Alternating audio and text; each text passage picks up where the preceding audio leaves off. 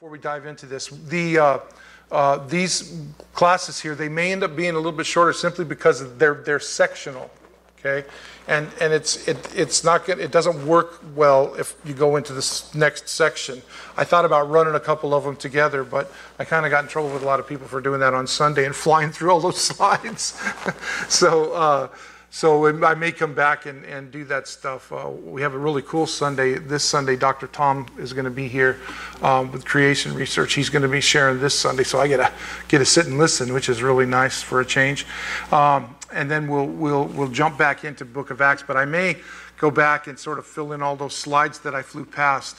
I was sharing with a lot of people. They were like, I wish you wouldn't have done that. You know, we really wanted to hear all of this stuff. It was great. And I got to tell you, I was talking with Denny today. I met with Denny. We had uh, had lunch and talked about several things that are with the church. And I was uh, sharing with him and, and with Marie as well.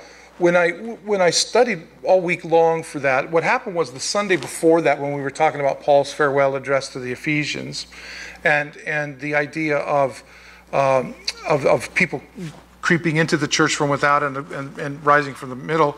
Um, it was brought up to me after that church and said, you know, you're in a perfect spot here with Paul's farewell address to Ephesus to, to bring in the concept of Islam. How did this all happen? If the church was so established in Paul's day, how did it get to this point? And I thought, you know, that's a really good idea. So I had a blast all week studying, and I had put that study together a long time ago. So I went back and refined it and brought it all down. Well, I kept it kept growing in slides it went from like 10 slides to 20 slides to 30 slides, and I'm thinking, there's no way I'm getting through this on a, on a Sunday morning. So I was all excited about it, and I thought, just read it, don't comment, just read through it. It's pretty self explanatory. Just get through it.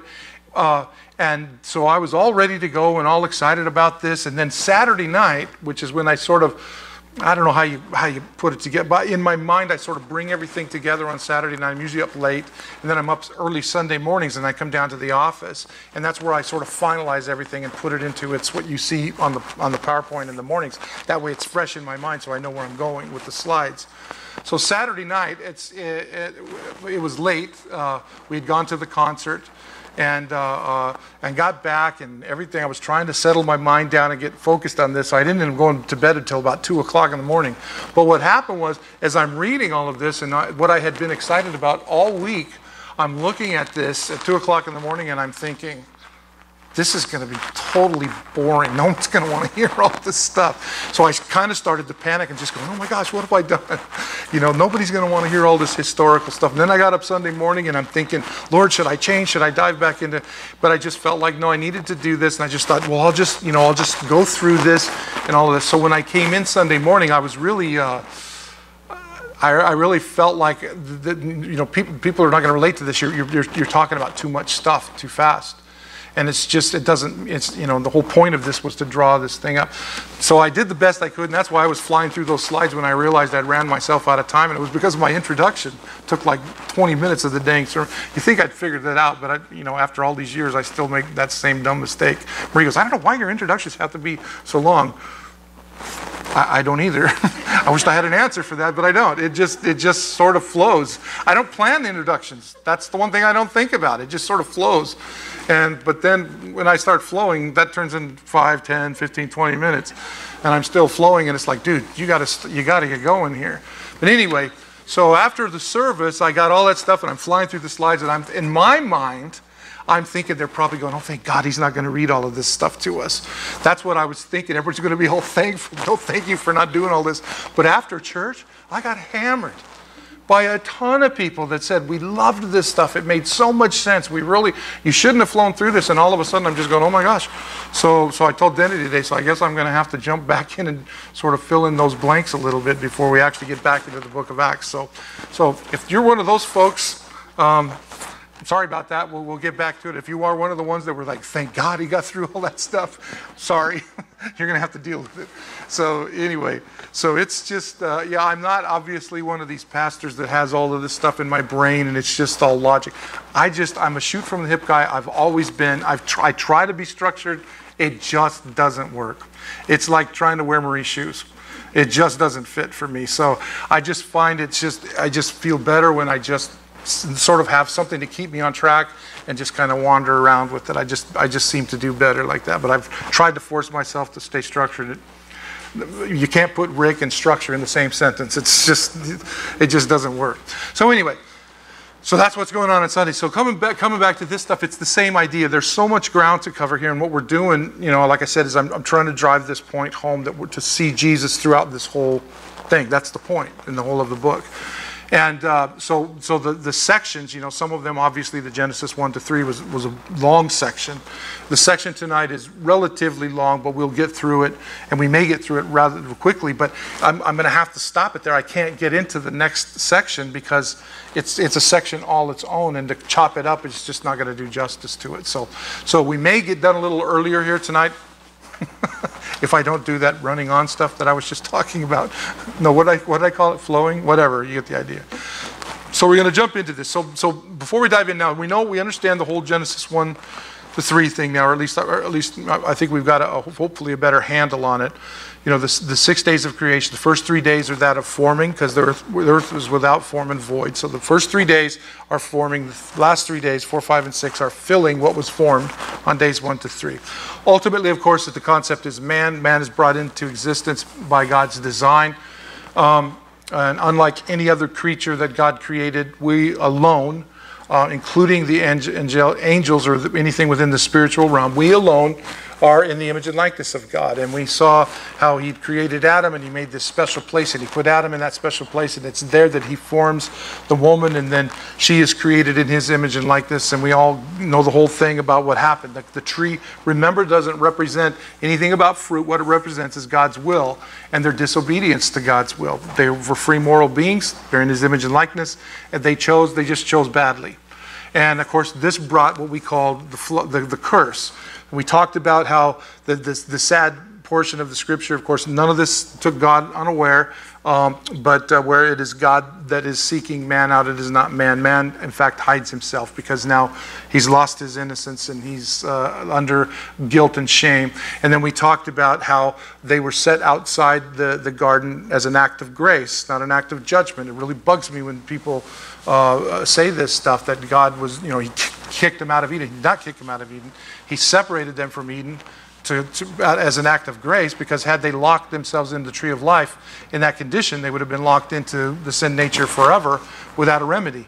So, so by God removing them from the garden and putting the angel there to not allow them entrance back in, that was an act of grace, not an act of judgment. Okay? And it's there, of course, where he, the, the leaves that they had tried to cover themselves with were unsatisfactory. Um, they're not going to cut it. Your, their efforts were not going to be able to cover their shame and their guilt. And so God covers them with the skins of animals. So there we have the first picture uh, of redemption that uh, the innocent dies for the guilty. Um, an innocent animal that did nothing wrong had to shed its blood to cover them. This is the concept of atonement. Um, atonement means to cover.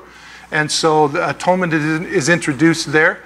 Um, and Adam and Eve's sin is covered by the skin of this. And then, of course, the promise, the first messianic promise in the scripture, the, the seed of the woman, of course, pointing to Christ. So, you know, if there's going to be atonement and therefore redemption, then there has to be a redeemer, and the redeemer is introduced as the seed of the woman. And of course, then judgment is passed on the serpent, right? Um, and now Adam and Eve, though, are now in a completely different scenario than they were in prior to the fall. They're now uh, in a relationship being separated from God. Now, there's a gap that exists between them because of sin. All right?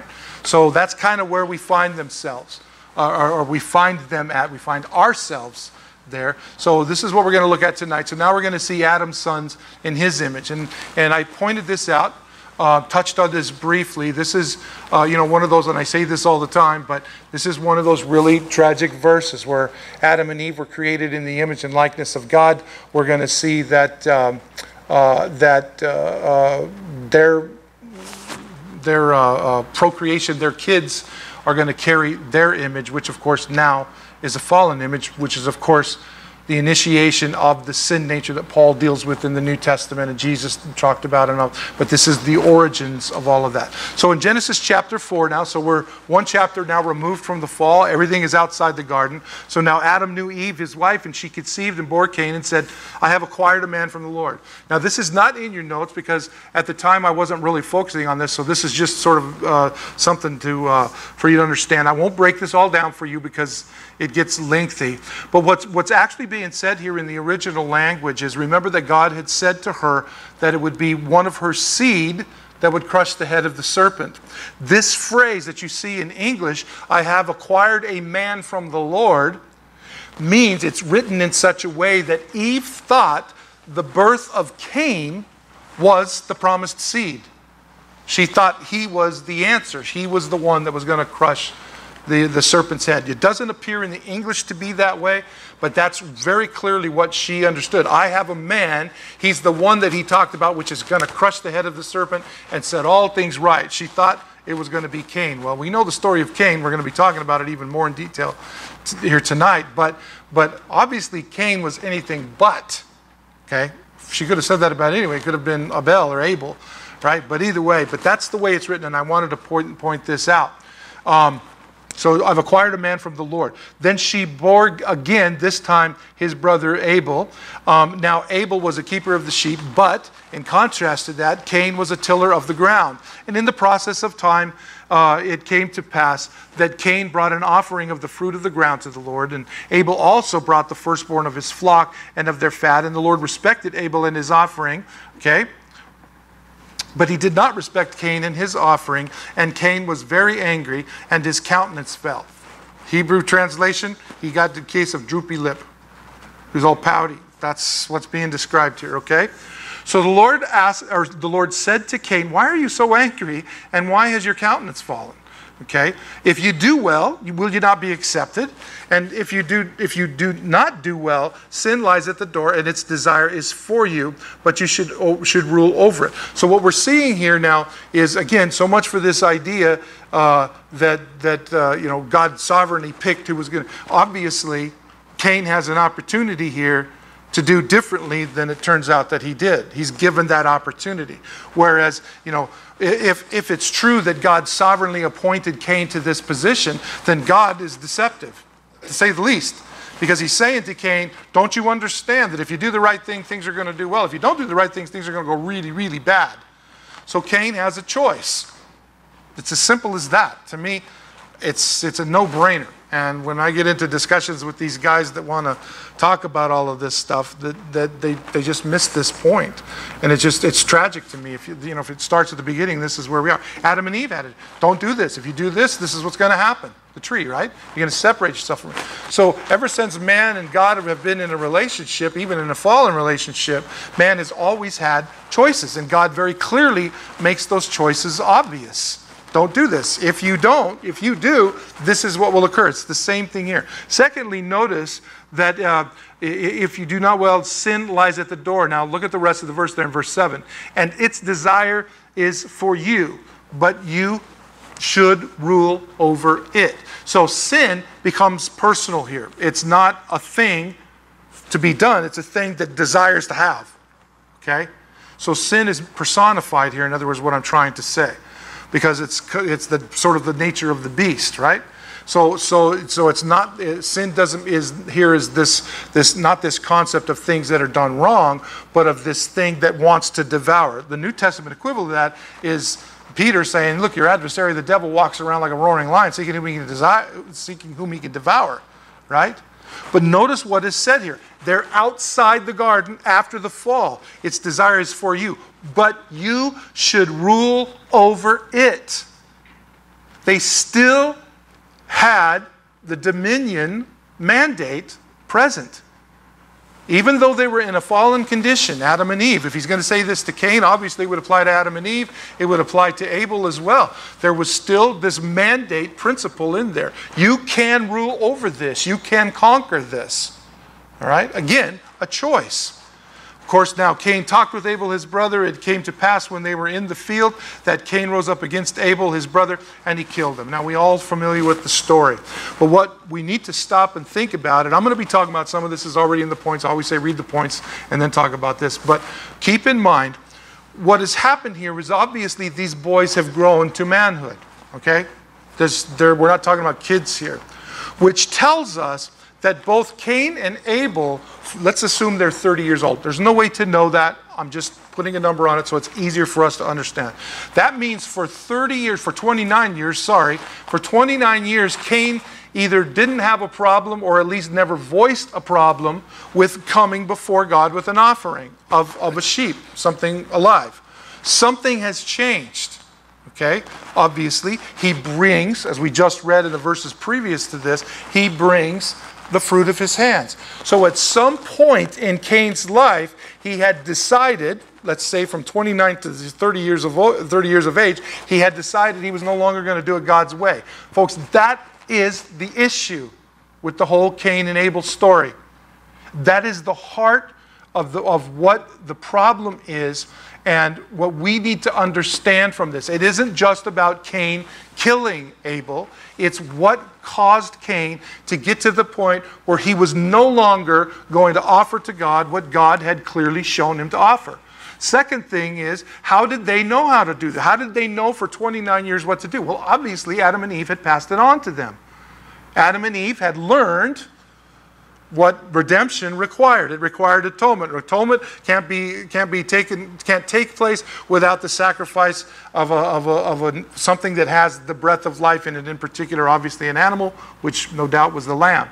So, all of these years, they all knew this, and it had been passed on from Adam and Eve to Cain and Abel. Now, we know there were brothers and sisters, though we're not told them, they're not pertinent to the story, but we do know that these guys married their sisters. We're just going to have to get over it and quit looking at it from a 2016 Western perspective. All right? Because we always do that. Well, how come they didn't produce kids with three heads? You know, uh, how come they didn't look like some of the people in the deep south? You know, no teeth and all of that kind of stuff. Well, that's because you're missing the whole concept of the genetics. At this time, the genetic gene pool was was just one step removed from being pure, right? So but what's happening here is the whole concept of what was that in Cain that had he had that had brought him to the point to where he had decided I'm no longer going to do it God's way. I know what God says he'll accept, but I'm going to do it my way and God will accept me and of course that's not going to happen. So, so these are the things that you wrestle with when you come to passages like this. Okay? So you can see there. So Adam and Eve would have understood the need for a living sacrifice, sacrifice to atone for, of course, that is to cover their guilt and their shame. This means that they would have understood God's plan of redemption. Now, they may not have called it redemption. They may not have had the, the, the, systematic theology to identify all of this stuff, but they understood what it was that God required. So they understood God's plan of redemption um, through that sacrifice to reconcile. To reconcile means to restore fellowship, okay? To reconcile themselves with God. They would have passed this belief on to their sons Cain and Abel. And of course, that's what we've been talking about. So here's a comparison of the two side by side as you move through this. And this is the stuff going back to the, the, the concept that I was talking about. Yes, sir? What's that? Uh huh. Yeah, it's going to start. It's going to say that as we move forward. Yeah. Yeah. Yeah, absolutely. Well, you're going to see right here where we're starting to head. It's going to be coming on. So here's a comparison. Now, notice that the two, we already know this. Cain is a farmer, Abel is a shepherd. Uh, you know, farmers, they plant, they water, they harvest, shepherds protect, provide, and protect. Plants and vegetables have no breath of life in them. Okay? All right? And sheep, but sheep obviously do have the breath of life in them. So they're souls, they're living souls. They just, you know, they're, they're not like us, but anyway. So Cain brings a sacrifice that has no breath of life in it, but Abel does bring. Now remember, Cain had done this he had been in the right column, even though his occupation was different. He had done everything in the right column until that 30th year. So we don't know what happened, but whatever it brought. So he brings a sacrifice that has no breath of life in it, and but but Abel brings a sacrifice that has breath of life. He also brings a sacrifice that has no blood of atonement in it. Okay, that's the problem with Cain's offering. Well, part of the problem. So, but obviously, Abel brings a sacrifice that has not only the breath of life in it, but the blood of atonement. So, in Cain's tale, this is a sacrifice of self effort. All right? For, for the shepherd, Abel, this is a sacrifice without self effort.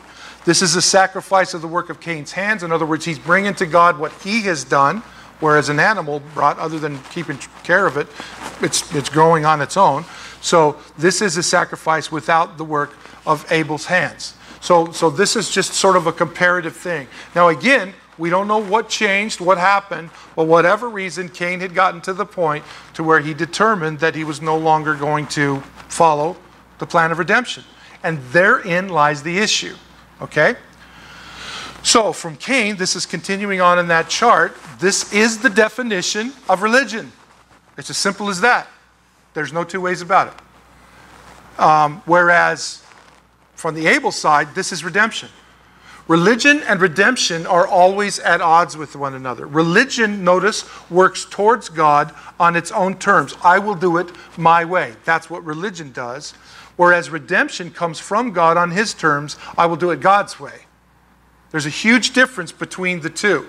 All right? Religion depends on getting to God, making efforts and working towards God. We're going to see in another chart here in a minute. Redemption depends on God coming to us religion, this is unacceptable to God and will be rejected by Him, whereas redemption is acceptable and will be received. Okay? The religious will always hate the redeemed. Who is it, when you think of world history throughout the history of the world, and I'm talking as far back as you want to go, who is always slaughtering who? It's always the religious that are going after the redeemed. Always, without fail. Over and over and over again because religion cannot tolerate redemption because redemption requires nothing except faith and belief. Religion requires all of the other stuff, right? The religious will murder for what they believe, and this is uh, really works with, in particular with uh, religion like Islam.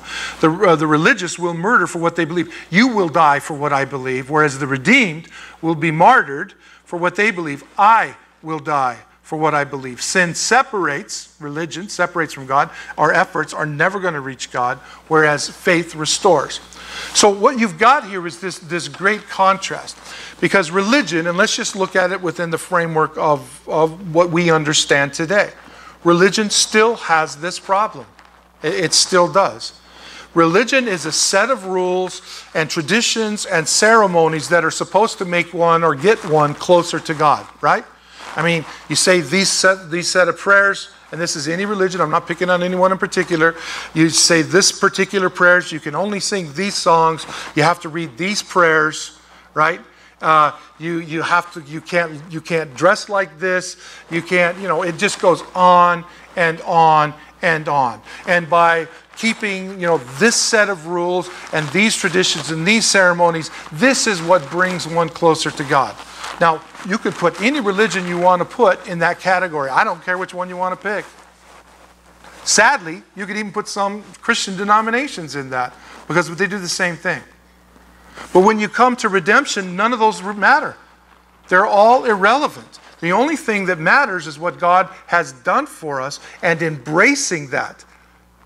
And by embracing that, putting that to practice in our lives, and as the scripture teaches us, as we draw near to God, God draws near to us, right? But it's all not, it's all, none of it is done based on our merit. This was the problem the Jews had in Judaism with the law. They had turned the law from being the point of redemption, which it's clearly doing, and, not, and I'm not just talking about the Ten Commandments, I'm talking the broader concept of law, um, but they, they, they were doing that and they got so focused on what we call the letter of the law that they failed to see the spirit of the law, right? Prime example the Sabbath. They were so upset at Jesus when he walked this earth because his guys didn't keep the Sabbath, right? They were walking through the field and they ate from the stalks on the Sabbath. Oh, that's wrong. You've broken the Sabbath. And what does Jesus tell them? You've got this completely backwards. Man was not created for the Sabbath, the Sabbath was created for man. But you guys have got the cart before the horse. So the law had become a system of do's and don'ts, 633 positive commandments, 200 or whatever it is, number of negative commandments, the do's and don'ts of Judaism. And Jesus said, You guys completely missed the point. And this was his point. You know, you said you shall. Um, I can't, I'm just drew a blank. You shall not murder, but he that looks at his brother with hatred in his heart is already, he's already guilty of these things. Jesus was saying this was the spirit of what God was written when he said, Thou shalt not murder. You see? It's, so it's, it's, it's, it's not the letter of the law, it's the spirit of the law It's the spirit of what God had presented to us that was significant. But the religious, as they've always done and will always do, have taken it and made it a rule of, uh, or a set of, of particular obligations to the point where now, you know, even in some circles, if you don't tithe within a certain amount of period, they're knocking on your door asking you why you're not tithing. They're asking you why you're not showing up for this meeting or for that meeting. Um, you know, it just we it just goes on and on. And of course, in all of the religious uh, in all of the religious realm, even within the Christian framework, because make sure I make sure you understand, I'm not picking on just cults, quote unquote. I'm picking on Christianity as a whole because Christianity is guilty of the same dang thing, right? Um, man, let me tell you, and, and, I'm not picking on these people. It was necessary for me, and it was a good thing that God had. But you, I don't know if you're, you guys are familiar with independent fundamental Baptists, but holy smokes. I mean, they wouldn't let me do anything after I became a believer because I still had my long hair from my rock and roll days. And they told me I couldn't do anything until I cut my hair.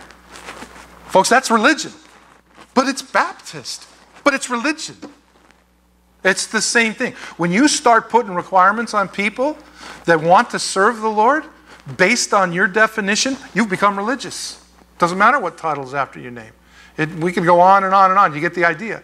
And that's why we don't do it there. And if you don't do it their way and stuff, this is what uh, religion always leads to excommunication. You don't do it our way, we're cutting you off. We're going to excommunicate with you. We're going to set you off and turn you on out into the devil because, after all, that's what Paul said. funny they forgot about the Paul says, when the righteousness. Uh, the redeemed always love to be religious. Can you explain that? Well, because we because we understand the religious are, are, are like this, and we're told to love those that hurt, persecute and hate us. So we're going to love them in spite of their judgment against us. We we don't have an option. We have to do what Jesus did, right? So even though the religious will judge us and criticize and analyze and all the other I's, eh, well, they'll do all of that stuff with us. The one requirement that we have is to love as the Lord Jesus loved. See? So we don't we don't get to practice hatred towards Islam, who would like to wipe us from the face of the earth. That's not an option for you and I. We're like, we're supposed to follow Christ, right? So we don't have the option of hating Muslims. We just don't have that option. We can't do that. Now we can point out where their issues are, which is what I was trying to do Sunday, and apparently we'll be doing part two next Sunday. Um, but uh, um, but to, to love these people, to pray for them, to want the best for them, to give our lives for them if called to do so, that's not optional. So that's what I, that's what I mean by that. Okay, does that make sense? Okay, so you know the, the bottom line is look, who's the, who's the focus of all this? Well, it's the Lord Jesus Christ. End of story. Uh, it isn't about some, some person in some position, whether it's a pope or whether it's a, a bishop or whether it's a whatever, a pastor. It, it makes no difference. The standard is not any of those people, not a rabbi or any of those. It's the Lord Jesus Christ. End of story. That's the example that he left for us. And you know, you guys have heard me say the concept of redemption, of course, is what Jesus taught us. And on the last night of his life, the last thing that he does before he goes and is arrested, never to talk to these guys in the physical realm again, what is the last example he left them? Huh? He washed their dang, filthy feet. That's the example he left. Well, you would think he knows he's leaving that room and going to the Garden of Gethsemane, and he knows basically all hell is going to break loose. Literally. He understands that. So you would think he would have just been giving them the old pep talk. Come on now, boys, you got to stay tough. You got to keep your head up. You got to, you know, you got to continue to put one, because this is what I would do. You know, you got to stay in the game. Don't let them get you down. Don't let them do this. You know, you got to stay faithful in the Word. You got to stay faithful in prayer and worship and join all the Bible studies and all of this stuff. And that's what we would have done if it was our last night to encourage those around us, wouldn't we? But Jesus' last thing is he washes their feet. And Peter said, Absolutely not. This I'm not letting you do this. And Jesus said, Dude, if you don't let me do this, you don't have any part of what I'm doing. Now, you would think that we would understand that the quote unquote Christian church would understand that. That these other people, I mean, he, he disrobed for these guys and he washed their feet. Uh, these are feet that walk streets where there were horse apples everywhere, right? You get the idea. You know, that's what it was like then. It's not like today the guy slips off his Nikes and you wash his feet. They may stink a little bit, but they don't have the. That's what we're talking about here. This is what he did. This is the final example. Does that sound religious to you? It's completely opposite of what we have turned it into. It's just the world's going to know you if you love one another. And we take that so casually. Oh, you just love one another. And then, or sometimes we take it to the extreme. Well, all that's necessary is to love. No, no, there are things to do as well. You know, but the point is, of all of the things, the, that was so anti-religious, it wasn't even funny. And who was it that was going to arrest him just a few hours later? The religious. That's who it was. And then, of course, they would, the religious would turn him over to the politicians of Rome and the military of Rome who had their own religion because Caesar was God and the, the thing was he's claiming to be God and only Caesar is God. And you got this whole thing. I mean, it's just, it's just ridiculous. So, this is religion. If you want to understand religion, you have to understand Cain and Abel. And when you understand Cain and Abel based on this stuff that we've just got through talking about, you can pinpoint it. And the, the religious will never, ever tolerate the redeemed. You're going to have to get over it. Never. So, so the fundamentalists, the, the cults, all of this stuff will continue to call us Satan. They'll continue to call us, uh, you know, weak Christians, if we're Christians at all. And they'll debate whether or not you should speak in tongues and the role of women in the church and the role of the gifts of the Spirit in the church. And they'll fight over all of this stupid stuff instead of just being what Jesus asked us to be. You know, go ahead. Yeah. To take it back to Cain and Abel, in our last study, we talked about the mind, the will, and the emotion. Right. So at the Cain and Abel stage, that's when the emotion with everything. Yeah, yeah, absolutely. Because what we read, when we read the passage there, Cain was a really unhappy individual. I, I mean, we, there's no way for us to know why. Was he upset because he was a farmer? Whereas, you know, I mean, he's got to till the ground, which the farmer does. He's got to water, he's got to weed, he's got to watch, he's got to wait, and then he's got to harvest, and then he's got to pack it all up, and he's got to haul it all off. Was, you know, what, is, what does Abel do? He follows the stupid sheep around. Oh, look, there's another Baby sheep, lamb. Yeah. very beginning, That's when our emotion. has Yeah. started Yeah, over, and actually we've been fighting it. That's exactly right. And remember, right out of the garden, this, there's spiritual death into the picture because man, being separated from God because of sin, spiritually dies. He, he no longer has the ability to communicate clearly with God, because which is what the Spirit does, which is why we need to be born again, right? So immediately you start to see this played out, and that's the significance of, of Cain and Abel being in Adam's image versus being in God's image. because they're coming into the picture not having that spiritual idea. Even though god speaks to him. you would think that would be it'd be pretty clear. I mean now how does god speak i don't know. Did god actually appear and speak to him? We don't know. All we know is it said god made it very clear to him. And later of course it's like where's your brother? There's another opportunity to come clean just like his father and mother. What is this you've done? You know oh what am i my brother must keep it again off goes. It's just yeah so the so whatever happened cain's emotions for whatever reason whether he hated being a farmer or he just determined that that what he was doing was significant and god should accept we just don't know. But yeah you're exactly right. That's where it starts to play out. And good grief you can look at the throughout world history and see this over and over. You can watch it in your kids man right? You know? Yeah. It appears to me that it's pride and jealousy that's sure it's at the root of it yeah absolutely jealous because Abel doesn't have to work. sure yeah you know, anything. He, he doesn't have anything to do with it. On the other hand, he's breaking his back out. exactly. He realizes, you know, Yeah. what I raise is, I have, I'm Yeah. And then, yeah, exactly. But what he forgets is, back in the garden, That's right. Yeah. Yeah, absolutely. And I mean, it you know, and if you think about it, I'm not, I'm not trying to, you know, uh, you can sort of understand. So, I, so I'm doing all of this stuff, and you stinking sheep are eating it. Yeah, I mean, you know, if you think about this, so it's it's easy to understand why he may have. Now, is that why we we don't know? Uh, we're we're totally making an assumption here, but it makes sense. I mean, you know, it's, it's easy to be ticked off by the guy who's, you know, sits in an air conditioned office all day when you're bent over the hood of a car and it's 120 outside and the thing just pulled off of a freeway. Trust me, I know because when I was mechanicing, I hated that. You know, here I am. This guy just pulls off the car. He's got a blown radiator hose. I'm bending over the hood of his car. It's 120 out. He blew radiator hose with hot coolant all over the heat from the engine, and I got to fix this stupid radiator hose. And I think about my brother calling and saying, "Hey, let's do lunch." Seriously, man?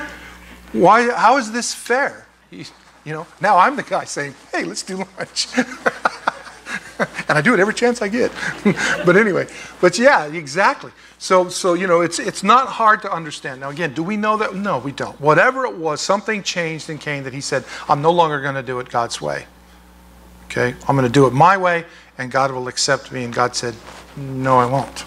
So that's ultimately what's going on. So Abel was not accepted by God for being a shepherd. This is the reason I put this in here, because remember, this whole study, I was talking about this stuff to the guys in Africa, and I didn't have it in the form that you have it. We were just talking.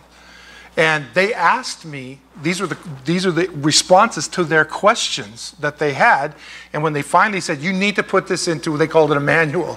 When you put the manual, that's what you have in your laps, is the manual that I put together during those four weeks I was teaching these guys. That's what I did. So this was in there because that was a question. And the guy that brought this forward was one of the pastors, and he was adamant.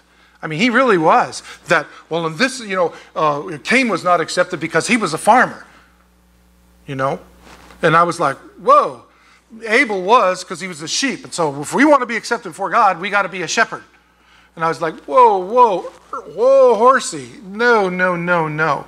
This has nothing to do with who you are. So we went through this whole process, Hummery. We just went through this and talked through this stuff and worked this out. And I said, if that's true, then I said, how is it that I'm standing here before you? I was never a shepherd. I told them about being a mechanic because they would understand mechanic. I could tell them about being a miner. They wouldn't have got that.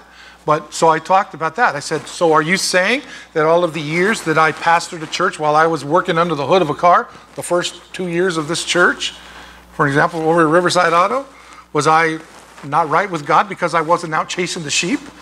I mean, really, do you really want to say that?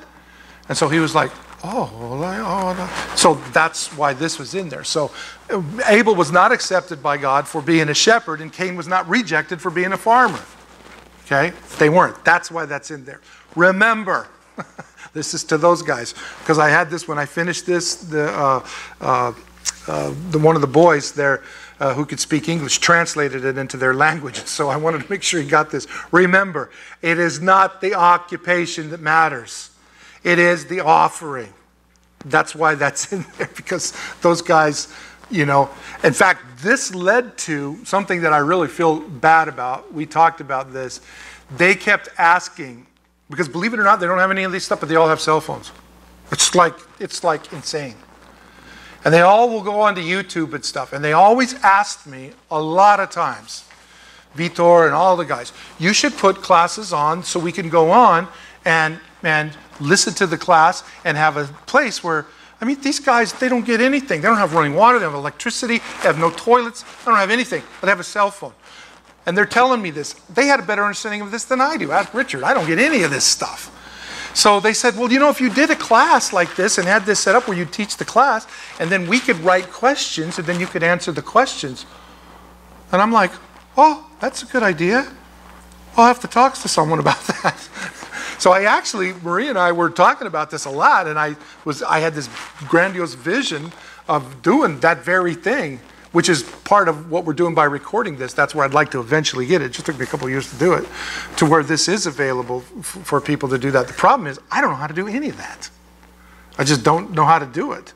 So you know, I don't even know how to do the Facebook thing. My daughter makes fun of me every time. So, but uh, that's what that's all about. So just you know, throwing out a little stuff there. So you can see here God the Father, God the Son, God the Spirit, Cain religion. Notice that it's that the, the point of this is he's trying to work into the character of God. That's the point. What he's trying to do is make his way to God. And again, that's what religious does. That's why you can only sing these songs, you can only wear these clothes, you can only read this Bible, you can only, you know, read these prayers, da da da da and on and on it goes. You get the idea. But notice that the, the Trinity, the triune God, comes in redemption, he comes to us. That's the difference. And that really sums up the difference between Cain and Abel and religion versus redemption, really. And there's one more. Oh, there's there's another chart. I thought well, maybe it's coming up. Here's a little, stair one coming up somewhere. No, I must have changed it for that one there. Anyway, so here we here again. You know, this is just another comparison. You can see here. I'm trying to drive a point home. I wanted them to make sure that they didn't misunderstand this, and that's why I'm belaboring the point here. But we're doing it, so we might as well. So religion versus redemption. I will make my way to God. Redemption, God has made his way to me. My book, songs clothes, For God So Loved the World. This was really cool. I loved when God gave this to me because then when I was thinking about this, I'm thinking, and how would you explain this from a scripture? I'm trying to think of all these different verses. And John 3.16 just popped into my head. And I'm like, oh, look at this. This is explaining everything. So I will go to God on my own effort, the work of my hands. But in redemption, no, God will come to me by his effort. He gave his only begotten Son. I will go to God on my terms, my religion, prayers, ceremonies. But God has come to me on his term. Whoever believes in him has eternal life. This will be rejected, this will be accepted. Okay? So now we move into the, uh, you know, from that, you can see now, and this is the reason I'm doing this for those guys as well as for all of us, is you can understand now because now you have chapter 5, obviously, that comes before chapter 6 chapter 5 is that verse. And maybe next week I'll try to put this together. I don't know if you guys have ever seen this. The, the, uh, for those of you that are on Wednesday nights, you'll, you'll, you know we've talked about this. But when you come to Genesis chapter 5, you've got what we call the genealogy of Adam. Okay, so it's you know Adam begat, and that's where all the begats come, right? Adam begat Abel, and I'm sorry, um, um, Seth, and Seth begat da da da, and it just moves on down the line.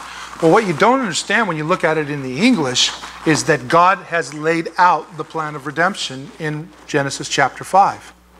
Because those names all mean something. So, in other words, we'll, we'll, I'll talk about this more next week when I bring this because it's going to fit right in where we're going to go next week. But what, you, what we have to understand, we say a name, Rick, or we say the name Adam, and we just think of a name, right? But when they said Adam, when they called him Adam, they weren't calling him a name, it was a title. They were saying man. That's what they were saying. Think of it this way.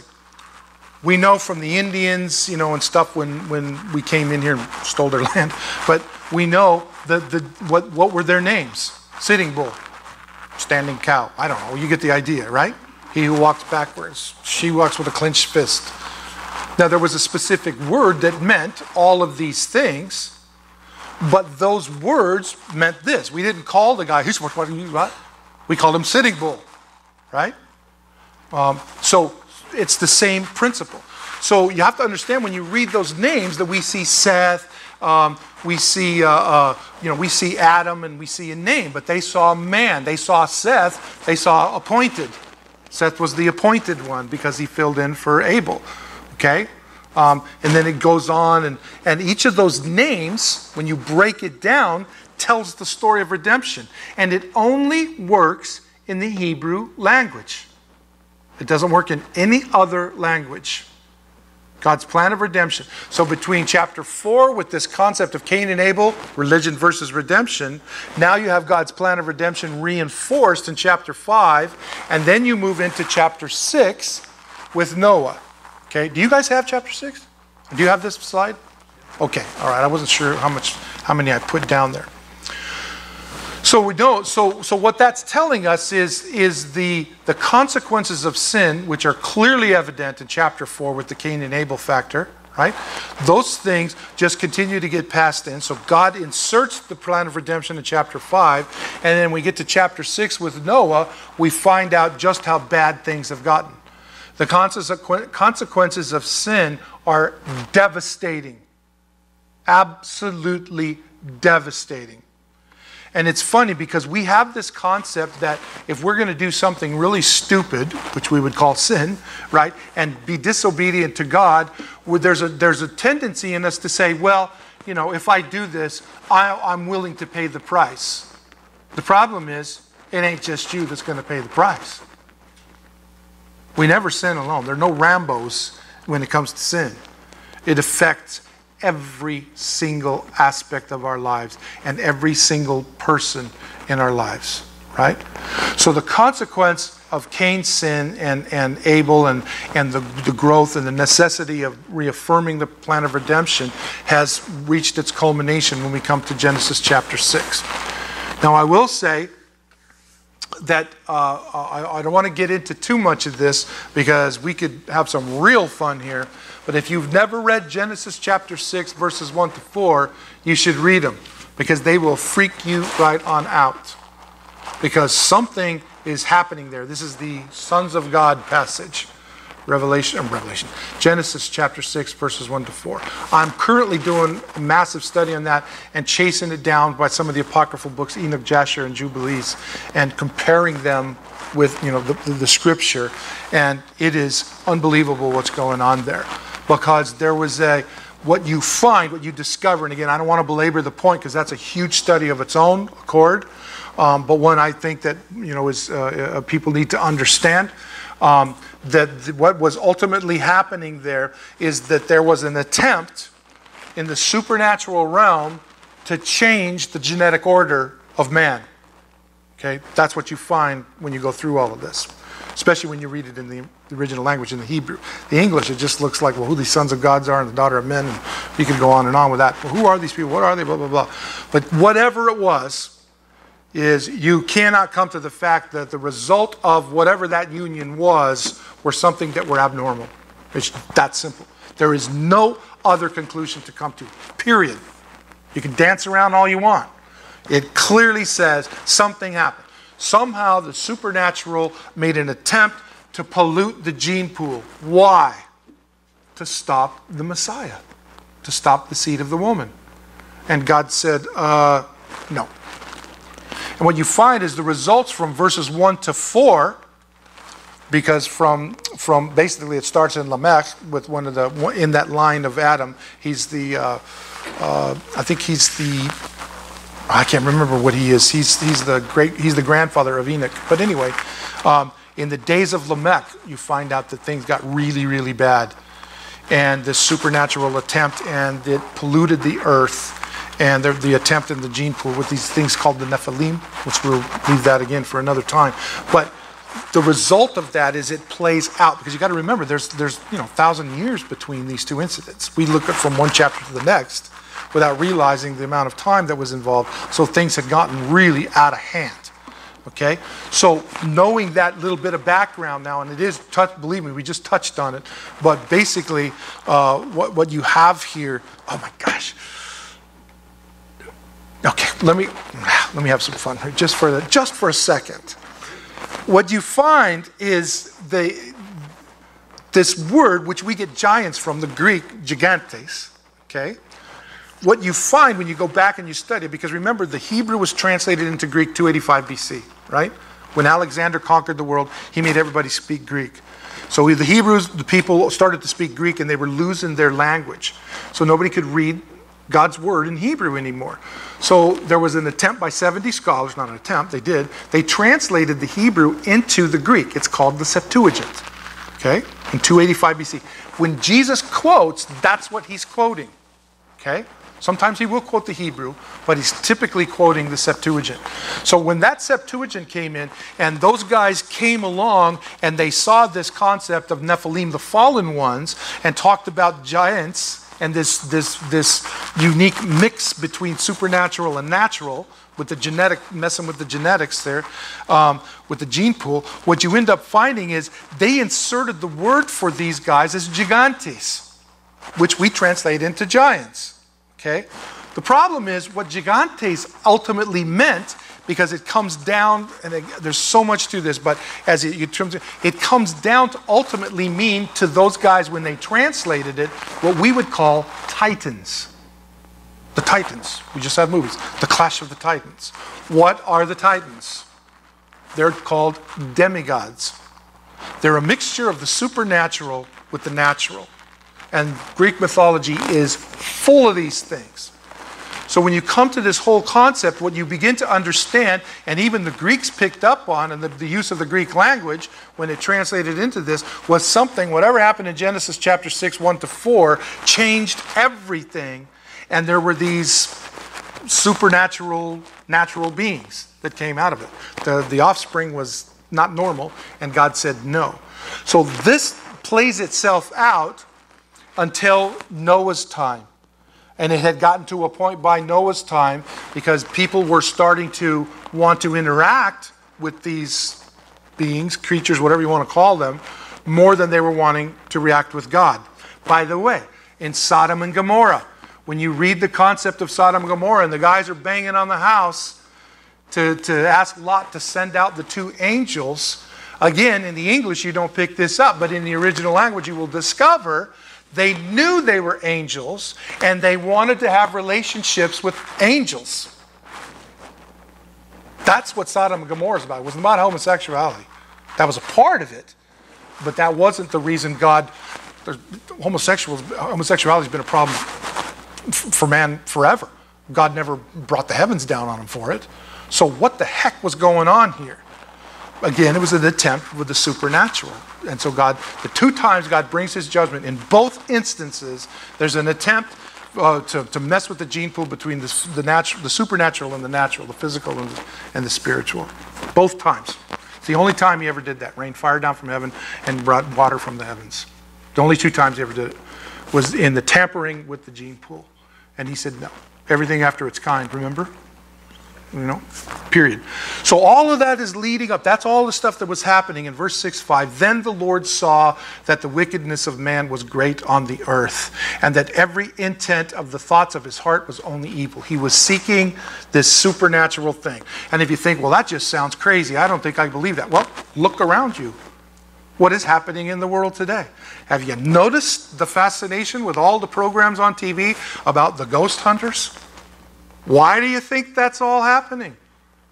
We could go on and on. I don't want to belabor the point. You get the idea. So, what was going on then is going on now. People are fascinated with this and are committed to engaging this. Call it a seance, call it necromancy, call it whatever you want to call it. What is that? It's an attempt to join the supernatural with the natural. It's nothing new. It's been going on since these days. But God saw this was all they wanted to do. And the Lord was sorry that he had made man on the earth, and he was grieved in his heart. So the Lord said, I will destroy man who I have created from the face of the earth, both man and beast. Why beast, man and beasts? Because not only you learn from Enoch and these other things, not only were they tampering with the supernatural and the natural, the, the spiritual world, with the physical world, they had brought in the animals as well and we're attempting to pollute the gene pool in the animals. Think of what's that dude's name, that, that Greek one that's a half goat, half man? What's his name? Um, plays the flute. Pan. Pan. Think of the guy that's half a horse and half a man. Gee, wonder where that comes from. Those guys just made it up? Really? Maybe it was passed down to him. Who knows? Anyway, you get the idea. So the Lord said, I will destroy man whom I have created from the face of the earth, both man and beast and creeping thing, and the birds of the air, for I am sorry that I have made them. But Noah found grace in the eyes of the Lord. And the old rabbis, prior to just after Jesus' time, you could go back and you can still read their writings, and they all believe that the reason Noah found grace because he was he and his family were the only ones that hadn't been polluted by this stuff that we're talking about, and that's what's being described here. It wasn't just that he was a good dude. Okay, now you can go on and on, but you get the idea. So all the people of the world had gone by the way had gone the way of Cain. It had gotten so bad that they put aside God's intention in marriage by taking more, more, more than one wife. And we see that polygamy enters into the picture in Genesis chapter 4, verses 19 to 22. They even wrote poems about sin of murder. There's two lines there's the line of Cain, there's the line of Adam, and both have a Lamech. Okay? The Lamech in the line of Cain. Uh, is this the, the one that's the written poems about the sin of murder? oh, if Cain was, you know, done this for, the, you know, come to me, wives, for I have done this great thing. If, at or if Cain is punished, then I will be because I have killed more men than him. So they were writing poems about killing, the very thing that God had said. Remember, sin lies at the door and its desires to have you. Anyway, so Noah was a descendant of Seth, the son born in place of Abel. There, he would have been the only one to still trust in his God. And of course, now as I'm studying more, uh, if these guys are correct, that he, he was the only one that had his gene pool had remained pure. For this reason, he found grace, favor, kindness in the sight of the Lord. Because of God's grace, Noah and his family would be spared the judgment of God, which would be the flood. Okay, pretty much that's all that you know that I had there. Yes, sir. So Noah building the ark for 120 years. Yeah. Wanting people to repent while he had to get out of the ark, they would have only went out the corrupt gene pool.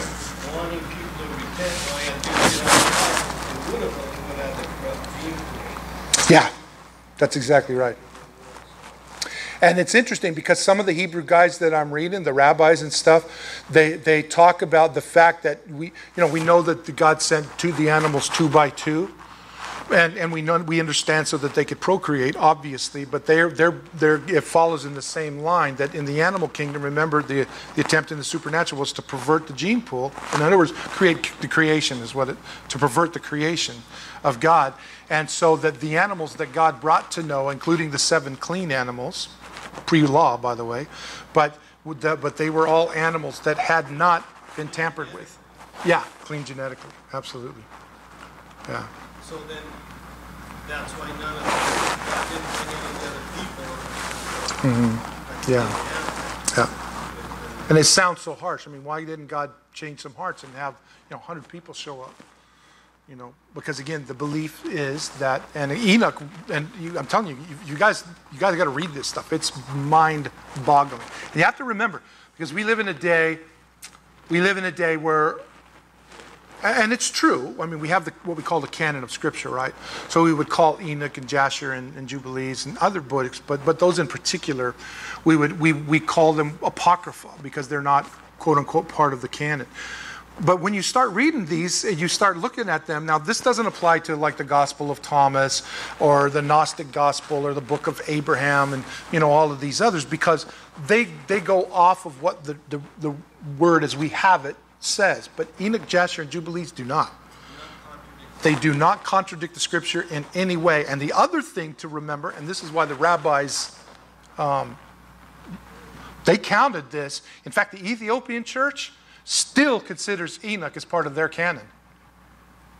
We don't, but they do. But what you find is that uh, you, you, know, the reason they did that, because there's two times in the book of Samuel and one in Joshua where the phrase is written as it is written in the book of Jasher. So the Bible is quoting this other book as if it was Bible. As if it was in, as, as, it, as Isaiah the prophet said, it's, it's given equal footing. So, so then it's the same with, of course, in Jude. Jude quotes Enoch. Jubilees. Yeah. Man, and, and Enoch will blow your doors off. We all know about Enoch. He was the one that was raptured, right? And he gives us the whole account in there when he's writing. And it's and when you get to Jasher, Jasher tells us that Noah, that that book was passed on from Enoch to Methuselah to Noah, and Noah passed it on to his sons. The book of Jubilees tells us that. And he tells this, his sons, Shem, Ham, and Japheth, after the flood, we're going to get into that nations next week. He tells them about these books and why they're significant. So what, and so the question then comes well, why doesn't Enoch and Jasher, in particular, they're the only two that I would, not that anything wrong with Jubilees in the sense that it, it doesn't divert from the scripture, but because those two books are called on within the scripture, there's reference to them within the scripture itself, I would give them a little higher up. Now, I'm not going to call them canon because I don't because I've grown up saying you can. But it is very interesting. And what you find is the first time that Enoch is removed from what the rabbis were reading is after Jesus after Jesus was crucified and the claim of the resurrection. You follow this all back. And then you say, well, why? Because in the book of Enoch, Enoch is called, he's called up into heaven, and guess who he sees in heaven? Messiah. And who was Messiah? This is Enoch. This is before, before Noah. But he describes Jesus Christ in the days of the Jews. So th- the belief is that those rabbis kept it out because they knew it was pointing to Yeshua. Oh, yeah, Enoch was written before Noah. Yeah, before the flood. Mm-hmm. Yeah. Yeah, because it go, because of the because of the lang, the uh, the writing on the Wednesday class. Remember we talked about the Paleo Hebrew and all that stuff because it's written back there, and there are copies of that found in the Dead Sea Scrolls, which people don't want to tell us for some reason. Imagine that. But anyway, I don't want to make a big thing out of this, but I'm telling you, if you read Enoch, you're going to go, oh my gosh. And the church, then, why doesn't the church put it into the canon? Well, because in the fourth century, um, there was all of this issues with uh, some of the religions, Christian religions, and we talked about it Sunday with Gnosticism and all the connection with the angels, and the angels deliver a new revelation. Well, it's all talking about all of this stuff. So the belief is that they kept it out because they were trying to get away from saying the angels did anything, and Enoch is full of the angels saying all kinds of stuff. There's Michael and Gabriel in there doing all kinds of stuff. They're asking God in Enoch, this is so cool. They actually, Michael is ticked over what Lucifer, actually, it's not Lucifer, Sam- Samaja is the guy's name, but under Lucifer, Lucifer said, hey, you guys should go do this. There's 200 of them, by the way. They're called the Watchers in the book of Enoch. 200 Watchers, which, by the way, show up in Daniel. And yeah, anyway, it just goes on and on. And what ends up happening is Michael goes before the throne of God and he's talking to God and he said, This is Rick paraphrased, you need to let me go kick the crap out of those guys.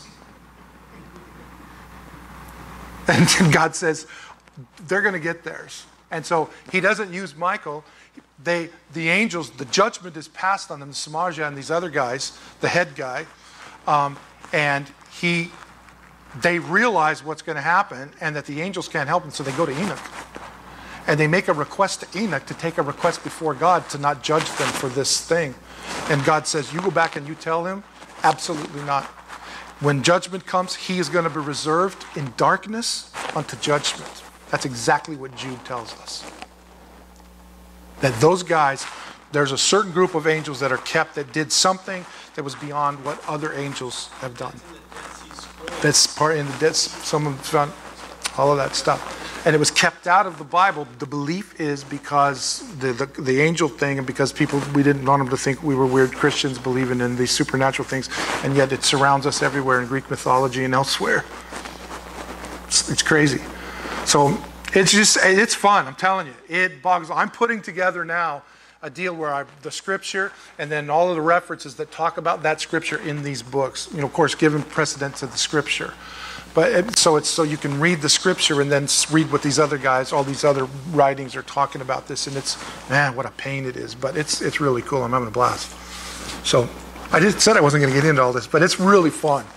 One last thing, we were talking about this. I think it was Daniel 2:42. I think it was, um, where where it says to the effect, you can read this, um, that in the last days, that you know, the toes of the image of Nebuchadnezzar with the, the clay and the iron.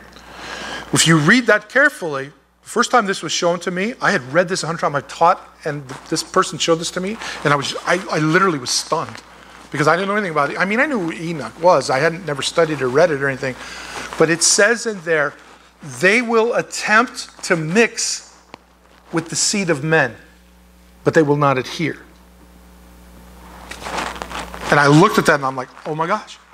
So, the last days on earth, there's going to be another attempt for whatever this is described there to mix with the seed of men. People say, well, it's religion, or it's Judaism and Christianity, or it's Islam with Romanism, or it's. Really? Those things have always mixed. So, something is being described here which is weird something that's happening again. Again, I would alert you to the fascination with the supernatural once again. Buffy the Vampire Slayer, Charmed, we got all of these things. We just pass them off as goofy movies. But what's going on here? What's really happening? What is the attempt with, what's the problem with cloning? What is the problem with cloning? It's manipulating the genetic order. End of story. So it's just, wow. Where did all this come from? So we could have we could go on and on and on, so, but I'll shut up. Okay. So having fun. What we have is the scripture. Trust the scripture. But don't be blind to this other stuff because it is fascinating and it sure does make a lot of sense. But scripture is scripture. That's the way it is. That's all we need. We don't need anything else. Wow, it's really cool to see this other stuff. Amen? All right, let's pray. Father, thanks for this evening.